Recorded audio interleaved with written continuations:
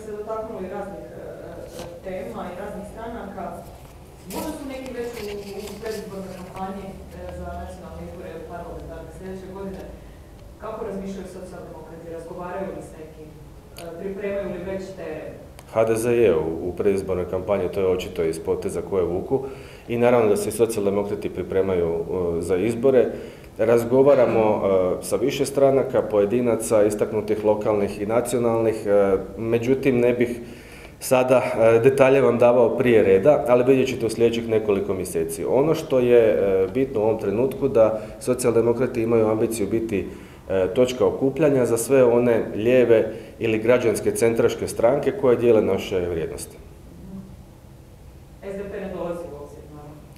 E, Ne dolazi u obzir sa ovim vodstvom, jer ovo vodstvo je pokazalo da je nedemokratsko, da nema viziju, da je vrlo rigidno, da je sve samo nedemokratski i nesocijalno i zbog toga SDP da, u SDP-u ima časnih ljudi, prije svega članova koji su još ostali, ali sa ovim vodstvom je nemoguće surađivati. Jer da jest, onda ne bi odlazili iz SDP-a.